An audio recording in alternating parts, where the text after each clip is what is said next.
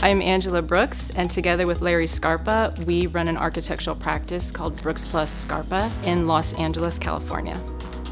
The building we designed for P.O.D.System architecture is called the Vortex Generator, and it's really a public art piece in the middle of Sarasota Bay, Florida.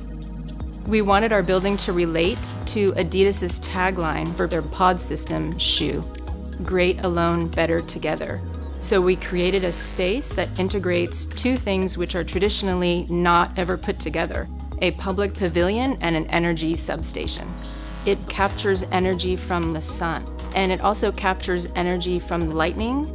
Traditionally, when you're in a thunderstorm, you run for cover. We wanted to flip that and provide a space for people to experience a thunderstorm while being protected. When the sun's out, it's essentially a deflated structure when a storm comes across, it rises 300 feet to harness the energy of lightning and it becomes a completely different space when lightning strikes, the energy is captured and it would glow like a lantern. The moist air would steam up. It would actually come out of the top, almost like a smoke ring.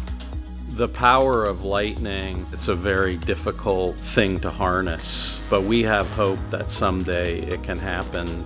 Our project really provokes thought and we hope that will allow people to continue to think about it and find maybe an answer and a way to harness the power of lightning.